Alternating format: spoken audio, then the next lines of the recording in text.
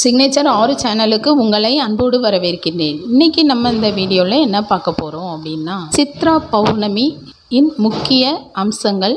சித்ரா பௌர்ணமி அன்று என்ன வாங்க வேண்டும்? நம் கர்மங்கள் தொலைவதற்கு நாம் என்ன செய்ய வேண்டும்?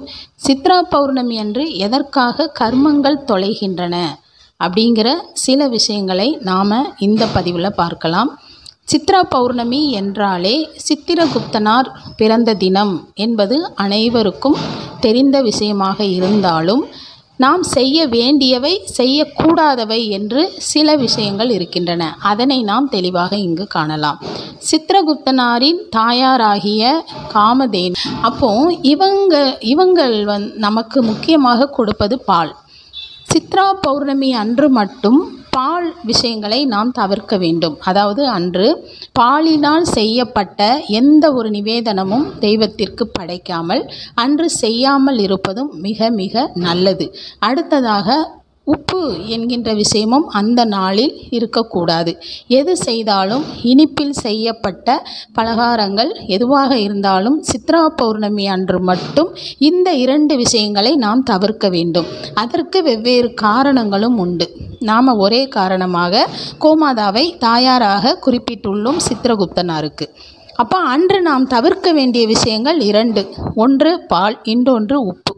கல் உப்பு சாதாரண உப்பு எதுவாக இருந்தாலும் உணவில் சேர்க்க வேண்டாம் அப்படிங்கிற ஒரு விஷயம். வருடம் ஒரு முறை தானே பின்பற்றலாம். அதாவது சித்ரா பௌர்ணமி அன்று நம் கர்மங்கள் தொலைவதற்கு நாம் என்ன செய்ய வேண்டும்? ஆறு ஏரி குளங்கள் கடல்கள் நீராடுவது ரொம்பவே நல்லது. நம் கர்மத்தை தொலைப்பதற்கு இதுவும் ஒரு காரணமாக இருக்கும். சித்ரகுப்தன் யார் என்றால் யமதர்மனின் கணக்கர் அதாவது அவருடைய உதவியாளர். அதனால் நம்முடைய பாவ புண்ணிய கணக்குகளை அவர் எழுதுபவர். அவருக்கு அந்த தினத்தில் முக்கியமாக நம் இல்லத்தில் பூஜைகள் செய்ய வேண்டும். சித்திரகுப்தனாரின் திருவுருவப்படம் இருந்தால் அவருக்காக பூஜை செய்யலாம். எது நீங்கள் வாங்குறீங்களோ இல்லையோ ஒரு நோட் ஒரு பேனா கண்டிப்பாக வாங்கி உங்கள் வீட்டு கணக்குகளை அன்று நீங்கள் ஆரம்பிக்கலாம். பூஜையை செய்து முடித்த பிறகு. அன்று நீங்கள் எவ்வளவு பேருக்கு நோட்டும் பேனாவும் வாங்கி கொடுக்க முடியுமோ? நீங்கள் வாங்கி கொடுக்கலாம். இதுவும் கர்மங்கள் தொலைவதற்கு ஒரு விதிமுறை ஆகும் அடுத்ததாக குடை வாங்கி கொடுக்கலாம் விசிறி வாங்கி கொடுக்கலாம். யாராவது ரொம்ப வசதி குறைவாக இருப்பவர்களுக்கு நீங்கள் மின் விசிறி வாங்கி கொடுக்கலாம். இப்பொழுது அது அவர்களுக்கு நல்ல பயனாக இருக்கும். உங்களுக்கும் நிறைய புண்ணியங்களை அள்ளி கொடுக்கும். எவ்வளவு தானங்கள் நாம் செய்கின்றோம் என்பதை விட அந்த நாளில் அந்த தினத்திற்கு ஏற்றவாறு பிறருக்கு பயன்படும் வகையில் நாம் செய்வது ரொம்ப ரொம்ப முக்கியம். இப்படி சித்ரா பௌர்ணமி அன்று நாம் இந்த முறைகளை கடைபிடிக்க வேண்டும். இதெல்லாம் நாம் செய்து கொள்ளலாம். அறவே அன்று உப்பு கலக்காமல் எப்படி சாப்பிடுவது அப்படின்னா அந்த ஒரு நாள் நமது பாவ புண்ணிய கணக்குகளை தீர்க்கும் கணக்கர் சித்திரகுப்தனருக்காக நாம் இதை செய்து கொள்ள வேண்டும் என்றால் நாம் மனமா மனமாற செய்து கொள்ளலாம். தவறேதும் கிடையாது. இப்பொழுதும் ஒரு கருத்து என்ன அப்படின்னா ஏகாதேசி அன்றும் நீங்கள் அன்னம் என்பதை தவிர்த்து விடுங்கள். உங்கள் வாழ்க்கையில் ஒரு மாற்றங்கள் கிடைக்க ஆரம்பிக்கும். ஏகாதேசி அப்போது நீங்கள் பசி தாங்க முடியல அப்படின்னா பிற உணவுகளை எடுத்துக்கொள்ளுங்கள் சாதம் என்கின்ற வகை ஏகாதேசி அன்று முழுவதும் தவிர்த்து விடுங்கள். நிறைய மாற்றங்கள் ஏற்படும் உங்கள் வாழ்க்கையில். அடுத்ததாக சித்ரா பௌர்ணமி அன்று நாராயணரின் பூஜை அதாவது சத்யநாராயண பூஜை அன்று மிக மிக முக்கியம். நீங்கள் செய்து கொள்ளலாம்.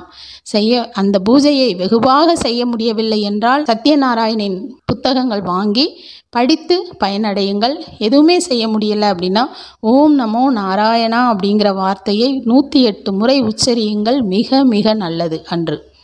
இப்படி நிறைய கருத்துக்கள் கொண்ட இந்த சித்ரா பௌர்ணமியை நீங்கள் வெகு விமர்சையாக கொண்டாட முடியாட்டாலும் அன்று ஒரு நாளாவது இனிப்பு பலகாரங்கள் பால் சேர்க்காமல் உப்பு சேர்க்காமல் இனிப்பு பலகாரங்கள் வேறு வகையான வகையான உணவுகளை நீங்கள் உணவறிந்து அந்த நாளை நல்ல ஒரு நாளாக நம் கர்மாக்கள் கழிய வேண்டும் என்பதற்காகவும் நல்ல புண்ணிய காலங்கள் நமக்கு வர வேண்டும். இனிமேலாவது நம் வாழ்க்கையில் நிறைய நல்லதையே நாம் செய்ய வேண்டும். அடுத்த வருட சித்ரா பௌர்ணமி என்று புண்ணிய கணக்கு அதிகமாகவும் பாவக்கணக்கு கணக்கு குறைவாகவும் சித்திரகுப்தனார் நமக்கு எழுத வேண்டும் என்று நீங்கள் வேண்டியும் தெரிந்தோ தெரியாமலோ செய்த அனைத்து பாவங்களையும் அவர் குறைக்க வேண்டும் என்றும் புண்ணிய கணக்குகள் அதிகமாக வேண்டும் என்றும் மனதார வேண்டி சித்ரா பௌர்ணமியை நீங்கள் நன்கு வழிபாட்டு முறை செய்யுங்கள்.